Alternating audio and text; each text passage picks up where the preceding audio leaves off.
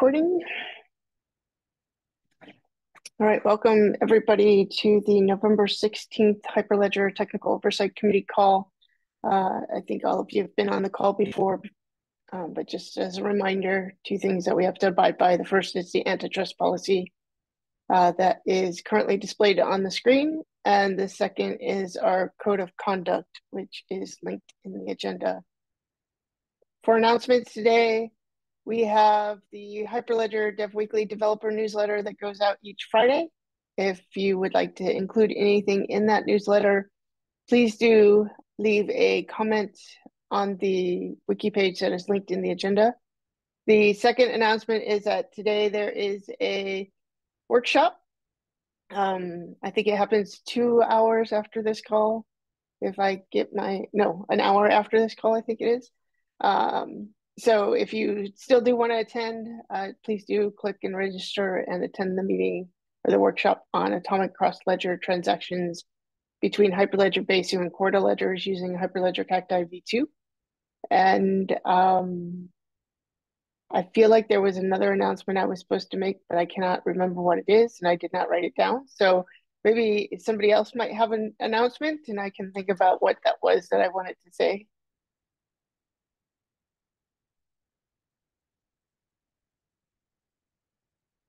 I have nothing. Okay. Well, the other thing that I think I wanted to say didn't come to me either, so maybe it will come to me later. It will. Um, I'll let you guys know what it was. Uh, the um, maybe there's the, that there's no meeting next week. Uh, that's probably what it was. That is probably what it was um, because that went through my head this morning. So um, yes, there is no meeting next week just as a reminder, we are canceling because next week it is Thanksgiving here in the US. And uh, so there's a number of people who will not be on the call. Anyway, so we canceled the meeting. Thanks, Rye. Uh, quarterly reports. So for quarterly reports, we have the same reports on the um, calendar or on the agenda that we had last year, last week. Jeez, where's my brain this morning? Um, and uh, I don't think there's there's any new comments that have come out that I have seen. But if there's any comments or questions that anybody would like to bring up now, now is your time to do so.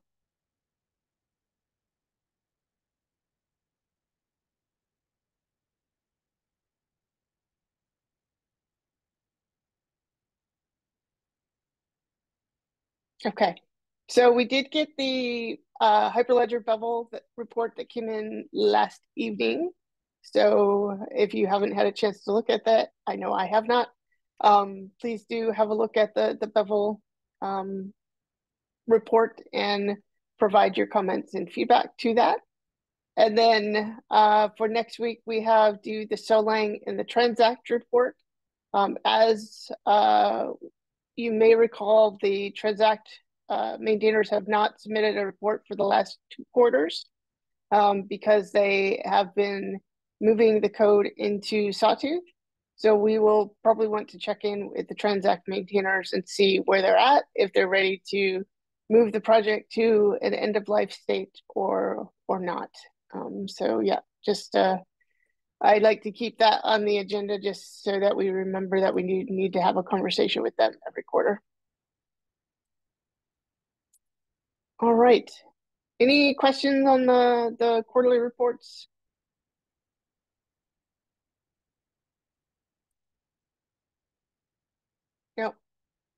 Okay, so we do have two discussion items today. Uh, the first one is um, maintainer events for 2024. The second is our badging lifecycle task force. Uh, so for the first item on our discussion, uh, wanted to have a conversation with the, the folks here on the TOC to talk about, you know, desire to have events for maintainers in 2024, what those events might look like, I know we had um, some past discussions in the TOC about maintainer events, but I think we were still in kind of the COVID phase of of life. So um, now that we're kind of moved beyond that, wanted to see kind of what people have ideas around what they would like to see done in 2024. This will obviously help the staff as they put together their planning for 2024 to make sure that we um, can satisfy the needs of the maintainers. So any thoughts or ideas from anybody on the TOC about the sorts of things that they would like to see, um, the sorts of things that they thought were was uh, useful from past maintainer events that they've been involved in, or um, yeah, it just really any ideas that you might have is what we're looking for at this point.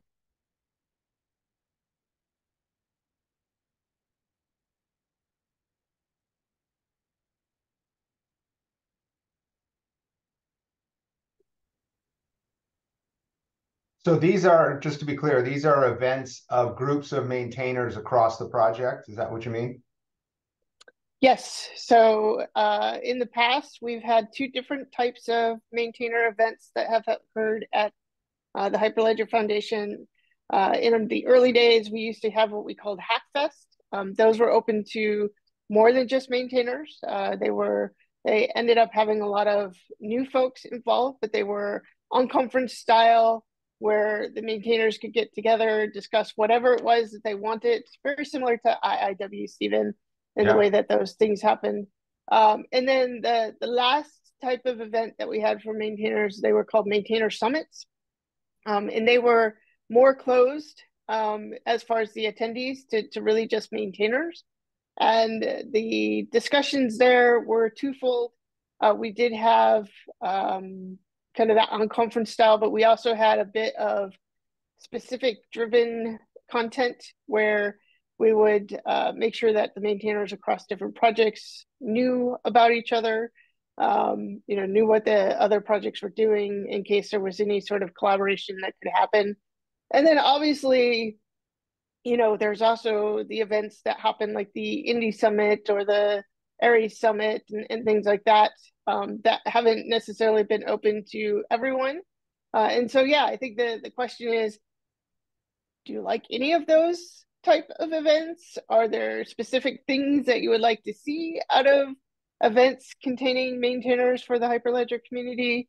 Um, you know, just any sort of ideas of, of things that might work for you as in as a maintainer, as an individual, or things that you think might work for your projects that you're involved in. So yeah, I think at this point, just really looking for different ideas about things that might occur in 2024 to to help with the the community and specifically the maintainer community. Yeah, I think um, one one part of it is could definitely be sort of low effort, high reward um, things that projects have found. So things like the um, you know, walking through how you can do a MkDocs site to get much better documentation, um, samples of, you know, good getting started material and and um, tutorial things, CI CD things that that people have found. So sort of leave it open, but the idea would be things that we've discovered um, that that proved valuable um, and here's how we did them, if you will. Yeah, great. Kind of a sort of a learning event for the best practices that the different projects exactly. have discovered. Yeah. Which is the same thing we've talked about through this a lot of this year, best practices for automated pipelines, best practices for documentation and and and things like that. And then with that, um, the tools that you know, making sure all the maintainers and all the projects are aware of the tools that um, Hyperledger has. I mean, there's there's a ton of things, and it's hard to know all of them. So I think that's a another good topic, a summary of those. So those are just sort of general interest ones. The other one would be um, uh, overviews of the projects maybe or some of the lesser known projects and and how you know with that idea of of leading toward a um, collaboration across projects. I don't know how much that's needed. Um, i've i've not been participated in such things so i don't know. But it sounds like that has in the past. Yeah definitely in the in the early days i think there was a lot of that. Um, yeah. I i don't know that we're doing uh, as much as we used to. Um, probably a lot of the uh, the virtual events that are happening are, you know, potentially a little bit deeper dive instead of high level overviews. But uh, yeah, there's there's probably some some stuff there. So for the the first sort of idea that you had with the the learning events, you think that's better done in person, virtual, hybrid? What what's your your thought on that sort of thing? Um, I, I think I would do it as either a um, a maintainers event uh, where we put together a a uh, an agenda, but do it remote or at most tied to some other event. I don't think you could have an in person for that purpose. I don't think that would be a mm-hmm. powerful enough draw. Um, but I think it could be, you know, a a, a three hour session, you know, a, a full a, a, full chunk of day because you never know what time of day it, it would be, but um, chunk of day type where you have a series of of presentations or or or discussions. Okay, great. Thanks, Stephen. Yeah. Marcus? Yeah, so I, if I remember correctly, I think I attended uh, the Hackfest in Amsterdam and also the maintainer meeting. It was either in Toronto or Montreal. I don't remember. Um, but I think both events were great. I mean, meeting uh, so many people you are, I mean, uh, on a day-to-day basis, just interact uh, via Discord or or Slack or whatever we used back then. I think this was uh, for many people such a great experience to to meet the people in in, in person, and I absolutely see big value in that and I, I, yeah, I mean, the last few years we did a lot of remote uh, conference style, which I personally hate, but this is only my personal opinion here. Uh, so I would really uh, love to see the people uh, again in person, and I mean have whiteboard sessions, have discussions during lunch, during dinner, having beers together, to basically, I mean, I mean, build a good foundation. Um, people can actually work on. I mean, also having fun together, right? And uh, I don't know. I think, I mean, a hybrid model of this Hackfest and maintainer uh, summit would be nice. So for the Hackfest, uh, make it open so that also users uh, or potential new maintainers could come and uh, learn about, um, I don't know, the core technologies or the the uh, the core code um, um, of the different projects, but also give the maintainers room to uh, sit together and basically, I mean, discuss things um, which is maybe much easier to discuss in person, and uh, things get resolved in uh, in a one hour slot rather than discussing it in a forum in over two weeks, something like that. So, if if uh, such a yeah event could happen in person, I would definitely uh, would like that. Great, thanks, Marcus. Yeah, I, I completely agree, right? Seeing people face to face, interacting that, with them in a different manner uh, does bring a different sort of connection to the, the people that you've been working with closely anyway, right? Um, so appreciate the the thoughts there, Marcus. Yeah, absolutely. And I think you see the benefits, uh, the actual benefits of such a meeting uh, after i don't know or the, the the first few weeks after such an event because then you start collaborating with the people again using our usual tools and then you notice okay it becomes for some reason much easier now to collaborate. Yeah yeah probably because you've seen that person and know who they are at a, a deeper level than you did uh, surface wise with the uh, discord communication all right. Thank you, Marcus. Bobby? Hi. Um, so uh, again, I didn't run for the TSC next year, TOC next year, so I'm just giving my two cents for whatever it's worth for everybody. But it's I definitely honestly, worth something, Bobby. Thank you. I honestly do believe in the power of face-to-face meetings, but in this day and age, those are far and few between and very special. Um, I believe in the interim that I am, again, the hugest proponent for that metaverse library. It has all the information logically set up, open 24 7. It can be done in different languages. It can be done, you know, meeting spaces for maintainers with their information. They can go whenever they want. So, again, I believe that this community has such important information, and just to make it accessible for people when they need it, I think is where we should go in the future. And my second thing is I do believe in the badging process, and I think it should be gamified learning. Um, I think we have enough information. I think we have more information um, that that gamified learning um, would challenge people to, you know, maybe you get something if you learn about three projects instead of just one or you know whatever. So i, I do believe that we could step it up again like uh, stephen said with the learning section of this and getting the information where it needs to be. So thank you for letting me speak. Yeah thank you bobby.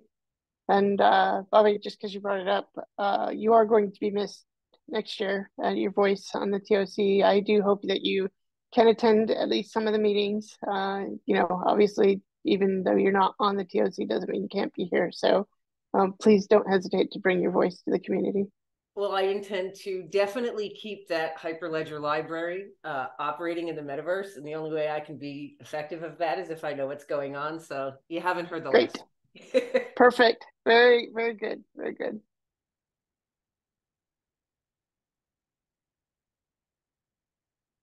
All right. Any other thoughts or ideas about things that you would like to see out of the events from 2024?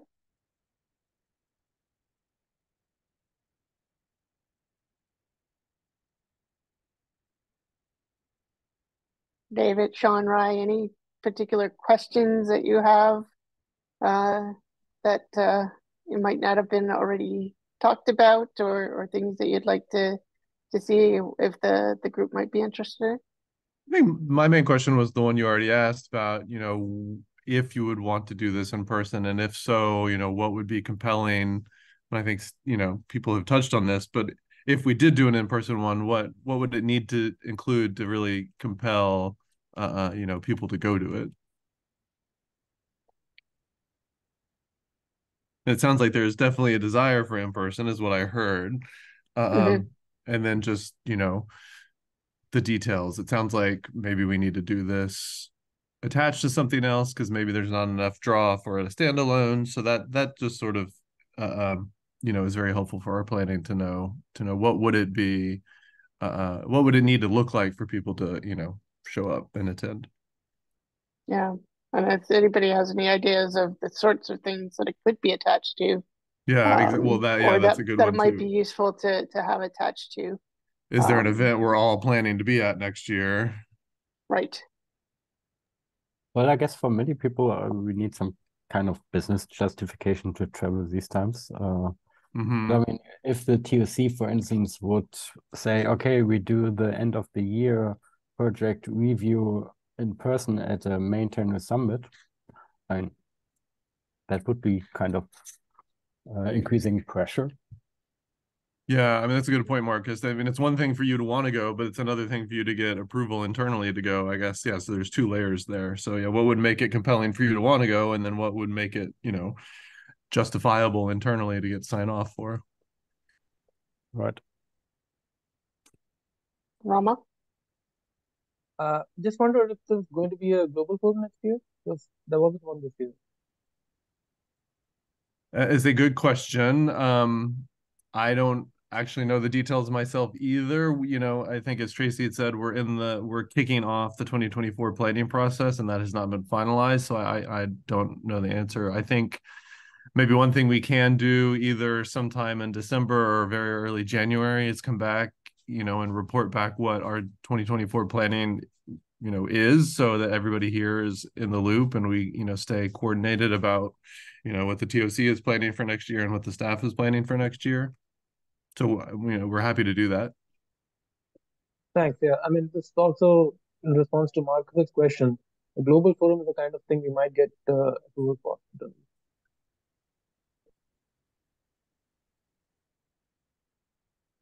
Yeah.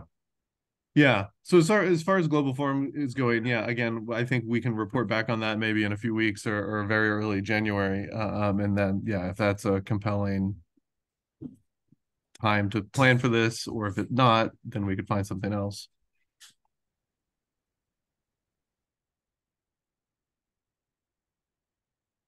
But the problem I see with the global forum is that this is, I mean, a conference style, and uh, when people maybe think, okay, they need to present in order to participate there. I mean, for maintainers in particular.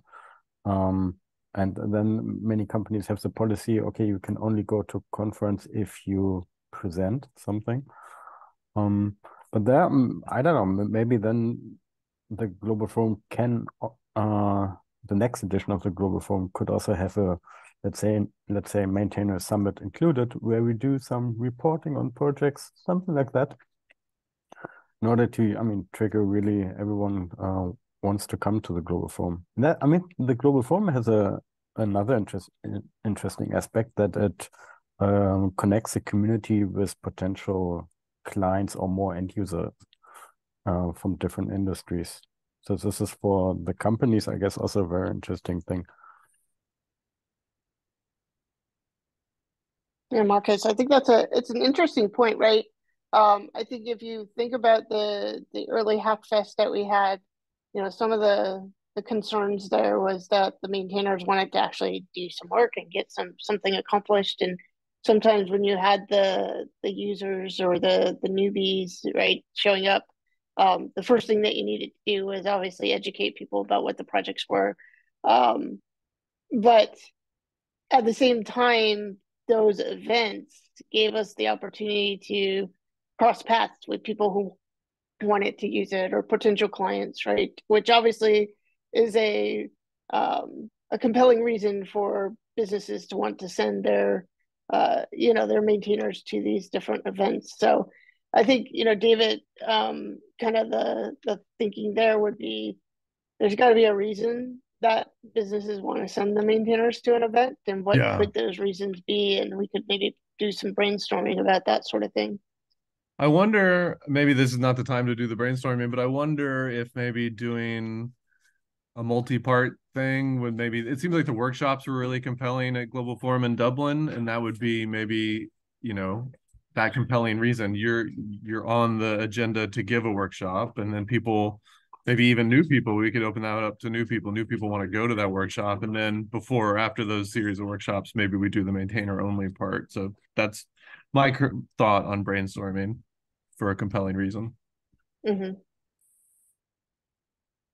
Yeah i i agree um i thought one uh i hate to say recent um but the event that we had in Basel was uh, really good. Uh, you know, it had the the right mix of uh, the member summit was there. The uh, you know we had the global forum, and it was uh, we had a, a big BOF area, right? So you if you were interested in fabric, you could go sit at the fabric table. Um, it was it was really nice. So kind of that multi-part event where you know it's more open to the public on a couple days and then or on a, a single day and then the maintainers have like two days where it's more gated um i think that would be really great cool. thanks Roy. Any other thoughts on this topic before we move forward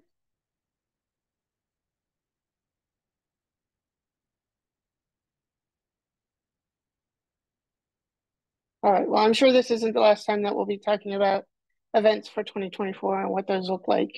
Um, but it, it was a, uh, hopefully it was useful, David, um, Sean, Rye, to get some initial thoughts on this. Yeah, for sure. Thanks for adding it to the agenda. All right. Uh, so the next item on the agenda is the uh, task force discussion on the badging lifecycle. Uh, Rama, I think this is off to you now. Thanks, Tracy.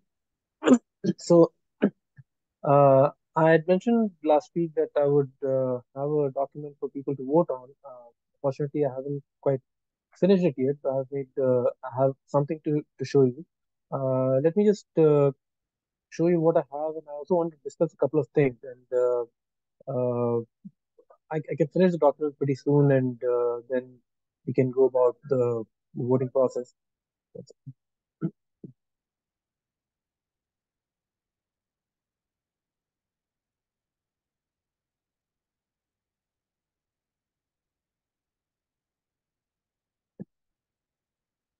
But uh, you see your screen, right? Yes. So, a bit of cough. Um, so uh, I thought it would be best to uh, put this into the TFC repository. So I uh, created a file in the government documents folder called uh, project badging. This is in my fork at this point. Um, ignore this this part. This just uh, notes which I'll remove. Uh, I'm going. I have a list of different badges and um, classified into either very unimaginative names. So if you have different name suggestion, open to it. Just calling them life cycle tracker badges and quality indicator badges. Uh, just to show you what which ones I'm referring to. Let me go to the yeah. So uh, I mean here call, we call them mandatory and optional, but that doesn't really describe the badges. I mean uh, it's not mandatory to have a badge. It's just that the badges we listed here are the ones which are relevant to uh, a project's uh, life cycle uh, state transition decisions, whereas these badges are not. But uh, both these badges are uh, both these kind of badges are uh, good to have and important to have. So uh, that's what I'm calling them. Again, if you have any suggestions for what you should call them in case of this, open to it. And I will I will list them, and that's an easy task. I just haven't got onto it. I made this slightly different diagram because what I was trying to do with this was try and figure out if we had covered all the state transitions in the uh, in the life cycle. And uh, the diagram by itself, by the way, I added another arrow which I showed in the the last time I covered this topic. Uh, maybe that was I think three weeks ago or something. Um, which is uh, an arrow from graduate to incubation. Uh, note that the let me just go to the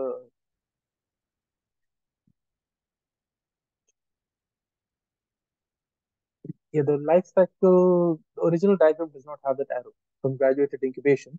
But during the discussions on the, the badging task force, we determined that it would be good to have such a transition. So uh, I added one. That's the only one added. And then there's also this sort of a, a dashed arrow that just comes into the proposal stage, which is just uh, how it's like the bare minimum qualification for any project to be accepted as a proposal. Uh, so count, I counted uh, uh, 14, uh, 14 arrows, and uh, the the collection criteria collection bucket. Each of these symbol is, is a is a badge. Uh, the green indicates the acquisition of a badge, or or the going from a badge um, in one stage to another. That is, uh, say you have a the decentralization badge. Uh, we'll have like two two parts to it. One is it's either a two plus or a three plus, uh, which means we're okay with the project being maintained by uh, up to two companies, uh, up to two institutions, as long as the incubation stage. But we need at least three for the graduate stage. So that's uh, that's the decentralized badge. You may just call refer to them as separate badge when we formally uh, accept this.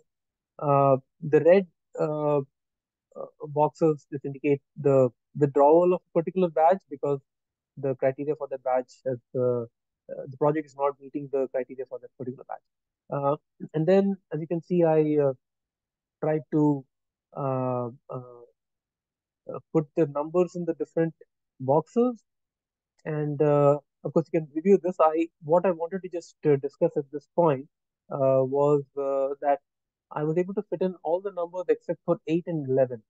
Uh, what are 8 and 11? 8 is the arrow going from incubation to end of life, and 11 is the arrow going from graduating to end of life. So uh, it, it, doesn't fit any of these because uh, when we were discussing the project life cycle, we were always thinking about uh, what should happen to a, a project that's in an incubated or graduated stage should it fail to meet particular criteria. And we were always thinking about, okay, maybe it should go into the dormant stage or to the deprecated stage. Uh, it seems rather drastic to move them directly to end of life, uh, but maybe there's a good reason for that. So I just want to ask uh, if anybody remembers what uh, like Clover was part of creating this diagram in the first place. Uh, what did you think was the criteria to move from incubation of graduate directly to end of life? Uh, and if you can't think of any criteria, maybe we should remove the arrow and just have the extra step before the project gets moved to end of life? Uh, sorry, I don't see any. Uh, Yeah, so maybe, Yeah. sorry, I didn't raise my hand. Maybe one of the things that uh we could think about here is just um let's say that you've got a project, it does uh something, right? Let's just call that X. Uh, and then another project comes along that also does X, but does it better. And you're like, well, let's just move our work over to that, or let's um, say that the um, this project shouldn't be used anymore in favor of this other project that does whatever we were doing much better. Um, that could be a one reason that you might move straight from an incubation or graduate it to an end of life. Um, you know, it could be that uh, the maintainers are going away and they don't have any plans to maintain the project moving forward, right? So they're not even going to maintain security issues or they're not going to um, do any sort of bug maintenance that would be probably required in the dormant and the deprecated um, phases, right? The dormant phase, I think, says that um, we're going away, but we're still going to be, uh, you know, doing like the security bug fixes. I think the deprecated one is we are we know that this is headed towards end of life, and the end of life it, we gonna say is in six months or a year or whatever that number is, and and so uh, you know therefore we're going to do that. But if the maintainers have completely gone away and there's nobody to come pick it up, um, then it would it should go directly to an end of life state. And I think we've had a couple of those um, projects where we've sent directly from incubation to end of life. Whether or not we've had any that have gone from graduated to end of life, I don't think we have.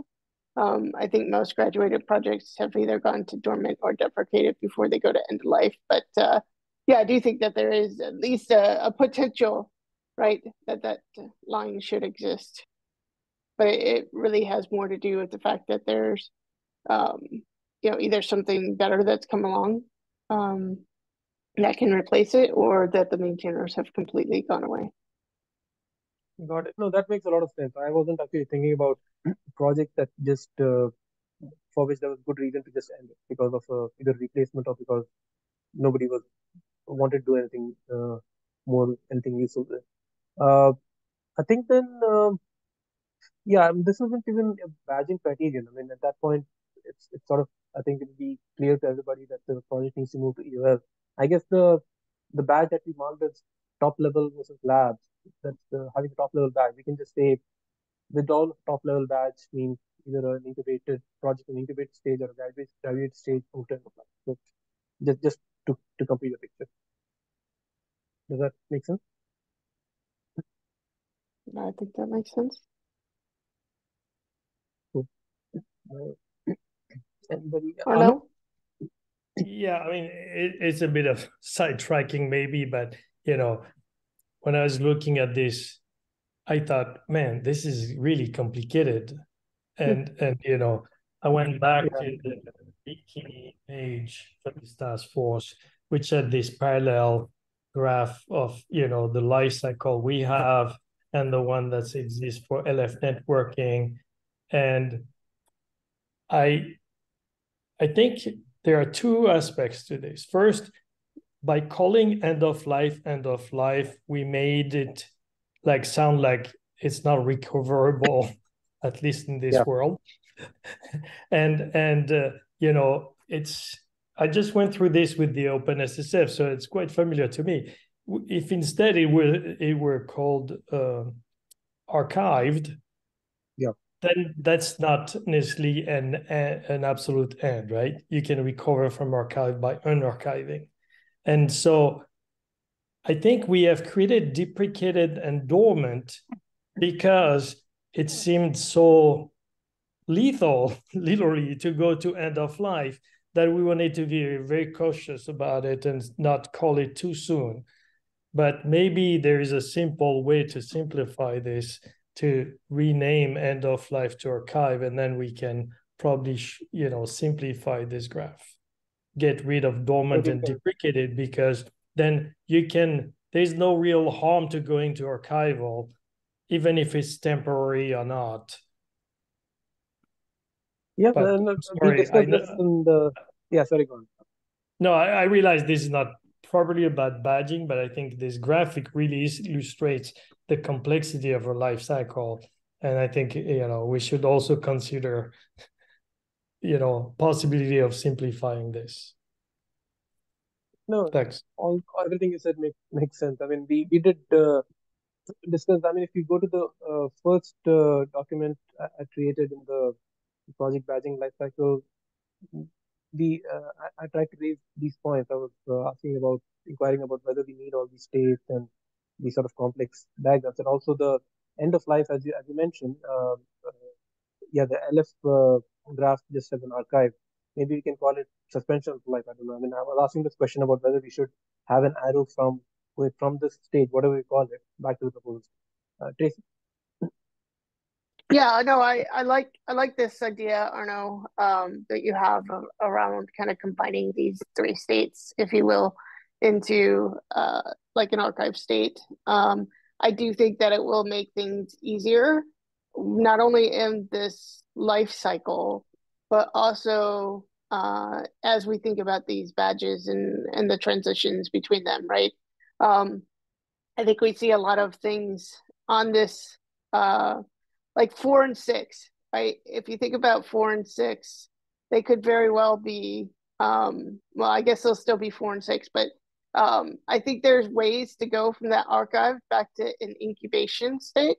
Um, and there's, there's, you know, even though we don't really show that because we basically say it has to go back through the proposal state again, um, you know, which is a line that's somewhat missing here, I guess, if you will but I think there's, you know, there's ways that even then this badging could potentially be simplified uh, to reflect, you know, we won't have all these numbers and have to think very hard about this. I think the other piece of this that comes to mind is that there has been a lot of confusion for people who weren't involved in the original discussions about this life cycle about what's the difference between dormant and deprecated and end of life and what you know, do I go, do I have to go to dormant before I go to deprecated? Do I have to go to deprecated before I go to end of life? Do, you know, what's, what is this certain um, life cycle that I could follow? And so I think that, uh, yeah, I like, I like the suggestion, I guess is what I'm trying to say.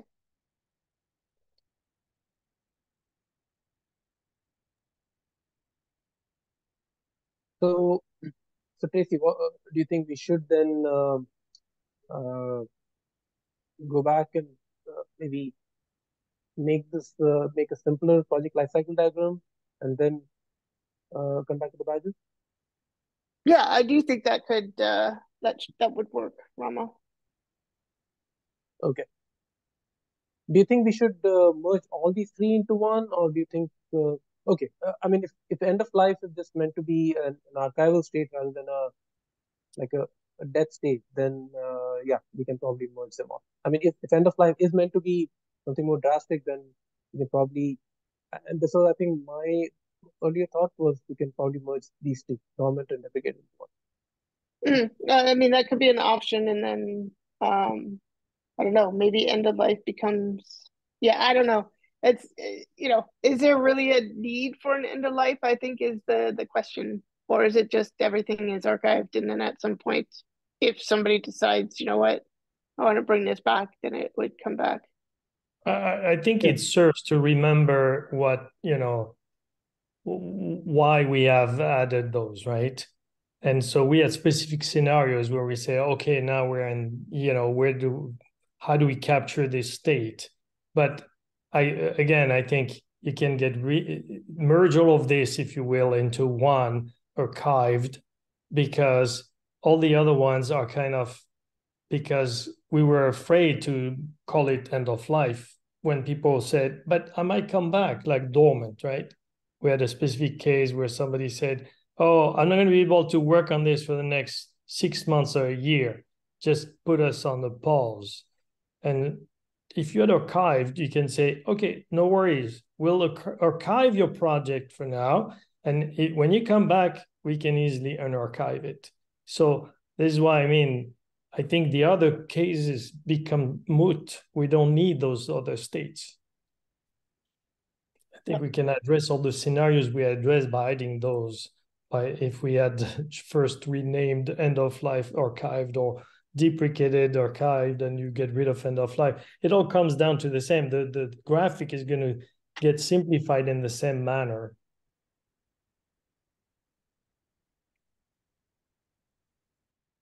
I agree.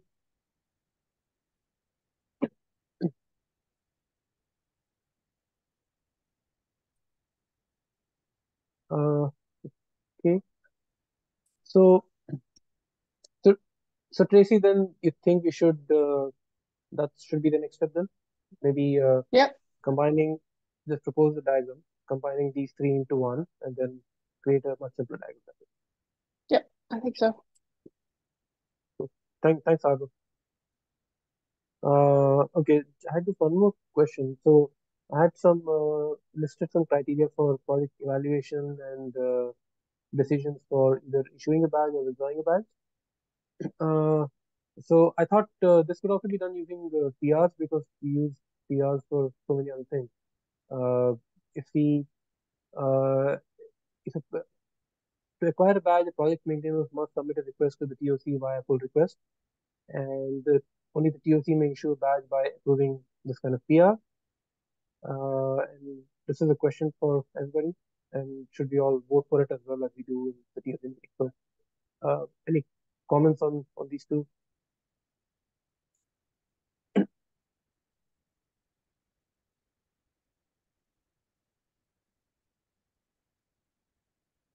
Everybody think is it it's fine to uh, have a badge issuance process via PR? And second question, should we all vote on it as well, or just uh, approve the PRs like we approved the uh, quarterly report?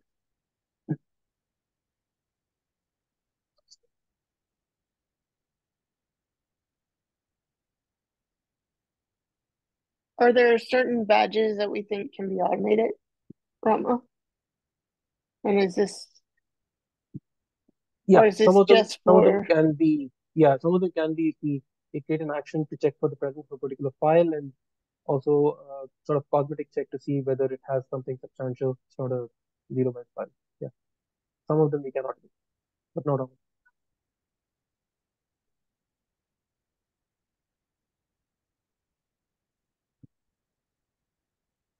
I mean, uh, we don't have to decide right now. I'll I'll keep this up here, and uh, can uh, the people can can think about it.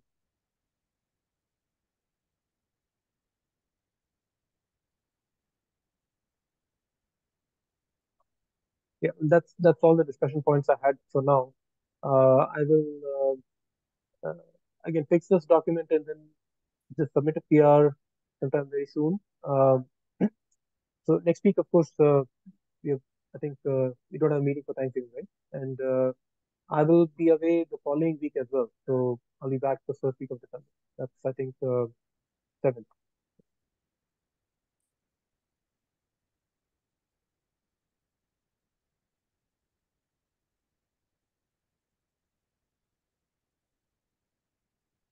Okay, anything else? Or I'll stop sharing.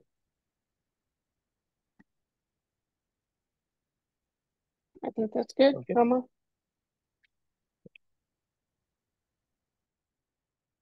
All right, any other topics for today that anybody would like to discuss?